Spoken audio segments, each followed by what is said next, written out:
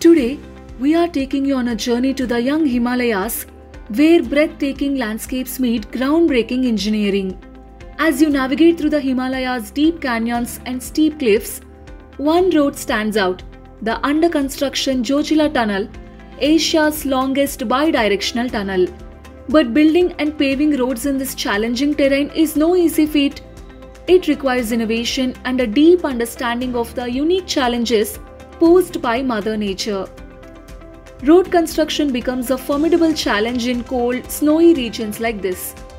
The freezing and defrosting snow can wreak havoc on the condition and durability of roads, especially on strategic routes like the one leading to the Zojila Tunnel.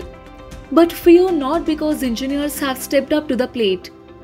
Enter extruded polystyrene sheets or XPS, a game changing innovation used in constructing the Zojila Approach Road. This marks the first time such a methodology has been implemented in India, transforming how we approach road construction in extreme cold climates. Why is this important? Well, the Zojila Tunnel project is not just any tunnel project, it's a strategic lifeline connecting key regions. Engineers have turned to polystyrene sheets to ensure the road infrastructure stands the test of time.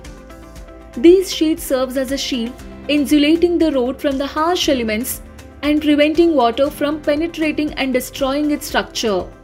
The Zojila Tunnel project is a testament to human ingenuity and determination.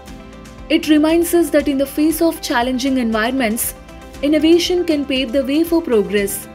As we embark on this journey through the Himalayas, we are not just building roads, we are forging connections and securing the future.